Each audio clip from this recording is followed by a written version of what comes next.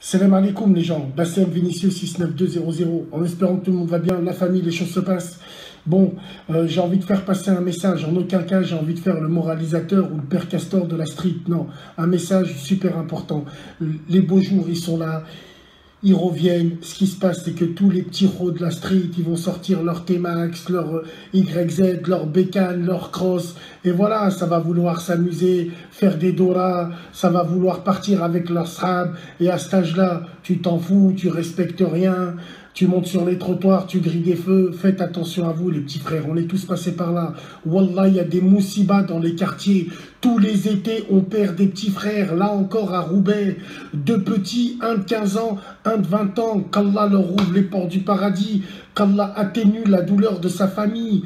Tranquille, les petits frères, on est tous passés par là, nous aussi. Oh, faites attention, le code de la route. Allez, vous avez des crosses. Allez dans les montagnes. Faites des levées dans les montagnes. Restez pas dans les quartiers tu peux renverser un petit chez toi, tu peux te faire renverser. Après, c'est les familles qui pleurent. Wallah, c'est pas pour faire le moralisateur. Nous, le premier, on avait des gueules VR6, on les faisait crisser au quartier. Bah ouais, mais après, avec le recul, on se dit qu'on a fait n'importe quoi. On aurait pu faire des trucs de fou. Bref, faites attention à vous. Combien de fois c'est arrivé au quartier Un mec du quartier, il tamponne un petit du quartier. Après, ça fait des tensions entre les familles. Après, ça part en couille. Nous, on veut pas de ça. Wallah, amusez-vous. Vous avez raison. Vous êtes là, vous en règle, vous conduisez, vous êtes frais, faites attention à vous. On n'a pas envie de voir vos familles en train de pleurer.